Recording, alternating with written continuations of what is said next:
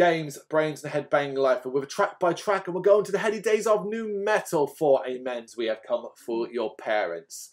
Third album, released October 31st, 2000 via Virgin Records. Big fan of this album back in the day. We used to listen to a lot of it. Well, mainly a lot of the songs on it regularly, not the whole album, because there was a few that I really didn't recognise or Yeah. remember. And it was, you know, your big hitters, the ones you kind of knew previously as well, particularly, of course, the single, The Price of Reality, which is the one everyone really remembers. That's the only one I knew before this. I, Yeah. I thought they were English. I was really out of the loop. Casey Chaos, who thought that was, Nick, know. I thought it was English. I thought it was like an English dude. Okay. I am so out of the loop. Um, I thought it was interesting is uh, yeah. last night I went looking uh, on at time of recording. I went looking to see what Casey Chaos was up to today, mm, and on Wikipedia, the last of entry was that he got drunk, smashed up some cars. This is Mm. like six years ago, yeah. and uh, the news reported it as like a rampage, and it was more like three cars, and that was like it. And I was like, Oh, "Woo, Okay. that's a much. that's a story." He was in Yeah. like I think 2014. There was some band or something like that, Mm. but I couldn't find out any more details than that. Oh, It's a long one though. It's a long with a lot of short tracks, Yeah. but every so often they pepper it with longer tracks, and fuck me, do I have a problem with them for doing that. yeah. We kick off with CK Killer, Mm. CK as in Calvin Klein. It's a slow start and a ho- and a horrid screech at the very beginning does very little for me. However, when it kicks in, it does improve, especially the chorus, which I think is pretty fire. Mm. One of the early, early examples of why I thought Casey Chaos was the man back in the day. You know, punkish, snarling, Yeah. pissed off, got a lot to say. I thought he was cool as fuck. Mm. And I said, like, I thought it was a really good opening track, fast and angry. Good introduction to the album. Um, another two, just under two minutes doesn't outstay its welcome. Yeah, that that applies to a lot of tracks Mm. that would outstay their welcome. Yeah. Thankfully, Yeah.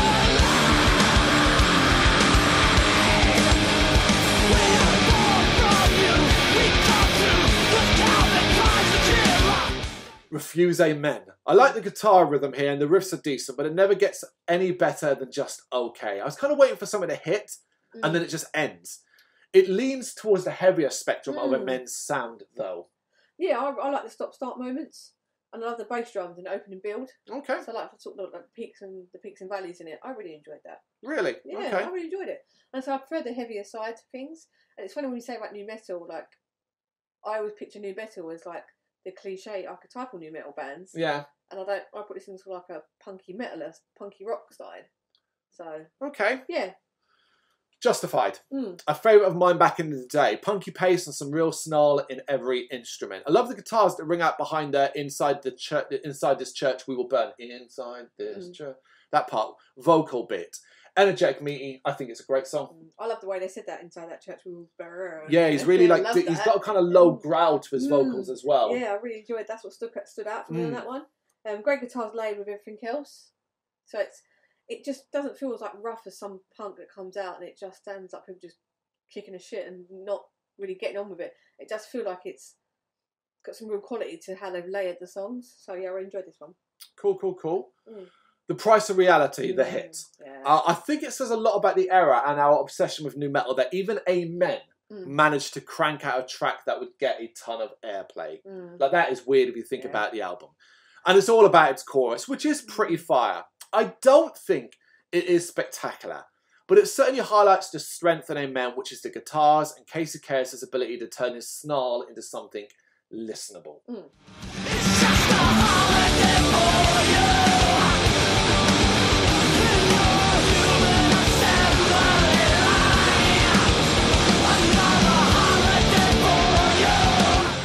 So the only track I knew, like I said before, the only track I knew before starting track by track, um, I think it's still it's still a really good track. I like it swells and builds, great snarling vocals, and love the end combination of it all. Really? So I feel like it's a really, I still really enjoy this track. Yeah, okay. Mayday. Mm. Nothing interesting here, and a bit of a come down from the previous track. Mm. Mind you, it is the first track where I felt I could properly focus on the drumming, but that's because all the other elements weren't registering. Mm, yeah, I was a bit of an idiot. I thought I was saying medic, even though the song's called Mayday. so I gave it six, like when I gave it the first listen, I was like, why are they saying medic? And then I played it again. Oh, Mayday. yes. But yeah, it's yeah, it's it works together okay, but like I said, nothing special. Especially after the price of reality, I thought that was such a high. It does kind of jar you a little bit. Fair dues. Mm. Under the Robe. There's a strong argument that Amen work best when they keep their tracks around three minutes Mm. long. This one is just short of four Mm. and feels it, which is a shame as it's good. Mm. There's some proper energy where it matters. The chorus is nice and catchy, but it's just too repetitive. Mm. Just too repetitive. One less verse, one less chorus, and it'd, fine. it'd been fine. Yeah, I said that. Nice with great energy to it. Maybe a little long at nearly four minutes. Yeah. So yeah, really notices it because I think a lot of this is short, sharp. We're angry. I Yep. think prolonged anger doesn't work. Not when you're just repeating. Yeah. Not when you're just repeating Yeah. choruses as well. Definitely. Yeah.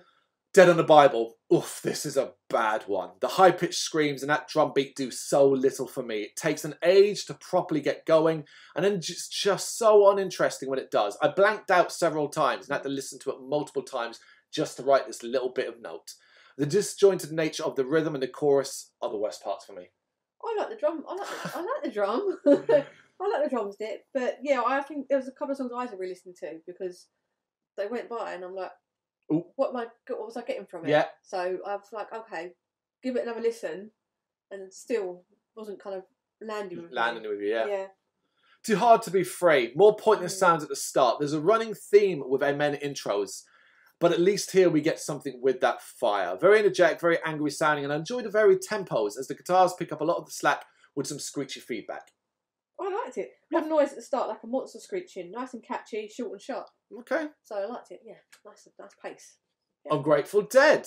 I like that it's straight in with something that has a much more simple metal groove. It's a shame that it's all this track has, as the same riff was repeated to maddening effect. Mm. I was bored senseless after a minute with another two to go.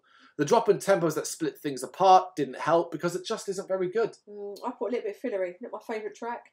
It doesn't grab me as much as the others, um, and just a little bit too long. Okay. So, yeah, it didn't do that for me either. Piss Virus. Back to fucking around at the start. This has a darker tone and absolutely erupts when it gets going. Some serious vocal stretching here, and there was a point where it gets low that I swear it kind of sounded like American Head Charge or Mudvayne or something. I guess this lot are very interchangeable. However, I do really like this one though. It's very chaotic and very heavy. Mm. I, I thought Piss Virus, lovely name for a track. Hmm. Um, nice feedback to start. Um, like I said, like when it really gets going. Yes, good. Return to the good tracks that I enjoyed. Yeah, I enjoyed it a lot too.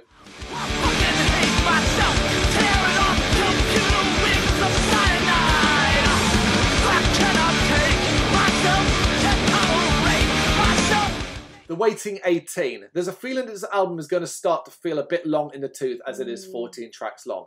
Here's a track where I wondered how much time was left overall. It has some catchiness, but it seems as though they're going for a radio hit here with the rockier rhythm, and it just comes across uninspired. I don't care for it, even if it's not outright bad. Thought album is running a little bit thin. Yep. Um, I like the crunchy guitars, and it feels more rock and roll than punk, like you saying. It's Yeah. more radio friendly. Like they wanted Um, to purposely do that. Yeah, um, but I like the group vocals on 18 though, when it gets on saying like, you know, to singing like the waiting 18 part. Okay. So, yeah. Take my head. Punk and roll. No ignoring the blazing heavyweight effort that this is. Hayden right at the back is one of the better offerings on the album. Mm. Punchy and heavy. The drums are banging here, but so is Casey Chaos. I like that it is heavy without ever stepping into the high tempo territory. I really like this one. Yeah. Nice, fa- nice, fast, chaotic intro. This one. I like the heavier feel, catchy and dark. I like the line, "Take my head and rip it open." I was Mm. like, yeah, really, really enjoyed Casey on this one.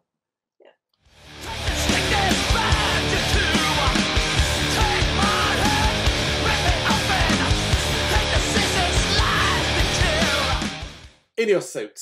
There's nothing that makes it stand out. It's just fine. The usual Amen shtick, which is never bad, but it's not a high effort Mm. offering, so it goes by in a blur of meh. It's very much penultimate track where you just kind of like, it's done, go. Yeah, mine's. I thought, ooh, he's angry at the man. Hmm. I like the chorus, um, but it feels like the content lyrics we've done many times before. Yeah, yeah, Like for sure. Suit wearing and ooh, anti-establishment. I don't know, maybe back to obviously 20 years ago, there was slightly less songs been done like that, but No. yeah. No, no, there wasn't. yeah. And finally, here's the poison. And I was like, a four minute, 10 second finale. My heart sunk as it's just not a good sign. Mm, And sadly, I was right. mm. There's some cool muddying of guitars, the drums are kind of punchy, and the vocals are scathing without being too loud here. There's some tighter riff work as it goes on, but it never takes off. I was hoping for something that was more of a blast to the face finale, and this is more of a wet fart. And it's one where I don't hate it, but I don't love it, and it's just like that's how we go out. Yeah, Um, I was glad when it switches to like, one of the snarly kind of Mhm. vocals. Um, it's a nice structure and laid elements that I enjoyed, but it wasn't. I preferred "Take My Head" as a finisher. I felt like that was Yeah, more 12 compact. tracks, yeah, that would have been brilliant. Yeah. Yeah, I agree. And let's see if we agree then on the top three. Okay, I went for the price of reality, Mhm. "Take My Head," and "Refuse Amen." No, we don't. I went for Justified, Mhm. Piss Virus, and Take My Head. so, So we- one, one out of three. Yeah. Yeah, it's um. I expected it to be worse overall, Yeah, I- and it wasn't. Yeah, I enjoyed it more because I, I, I'm not overly keen on like war punk, like the punkier side, but this felt like quite heavy, and the quality of the, the sound, how they put it together, I was like, okay, yeah, I can really get behind this. Maybe it's like more of an American punk thing that I prefer Maybe. more to British punk, like the oi oi kind of stuff. Oi, oi. Yeah, oi oi. You love it. But yeah, I, I, I definitely play some of these tracks again. Amen's, we have come for your parents. Let us know your thoughts in the comments. Thank you very much for watching. You can check us out on gbhbl.com as well as on Facebook, Instagram, Twitter, and Tumblr. Go to Patreon to help us out over there. That's patreon.com forward slash gbhbl, as well as Big Cartel, where you can find some of our merchandise. We have a podcast running on SoundCloud and Apple Podcasts. And of course, if you like this video, do us a favour, hit the subscribe button and help the channel grow. Games, horror, and heavy metal. What else is life for?